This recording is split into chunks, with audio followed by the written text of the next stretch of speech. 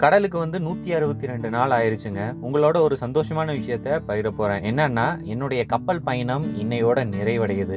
ஆமாங்க நான் வீட்டுக்கு போக போகிறேன் என்னடா அது நூற்றி எண்பது நாள்னு சொல்லிட்டு வெறும் நூற்றி அறுபத்தி ரெண்டுலேயே வீட்டுக்கு கிளம்புறாங்கிறியே அப்படின்னு நீங்கள் கேட்கலாம். அதுதாங்க ஒரு பெரிய மித்து. அதாவது கப்பலில் வேலை செஞ்சால் எல்லாரும் ஆறு மாதம் தான் வேலை செய்வாங்கன்னெல்லாம் கிடையாது.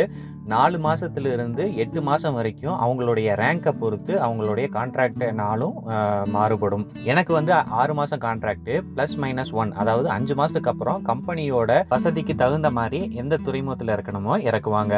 இப்போது நான் வந்து மெக்சிகோவோட பஜாரித்தோஸ் அப்படிங்கிற துறைமுகத்திலிருந்து வீட்டுக்கு கிளம்ப போகிறோங்க ரொம்ப சந்தோஷமா இருக்கு. மீண்டும் உங்களை நம்ம தாய் தமிழகத்தில் வந்து சந்திக்கிறேன்.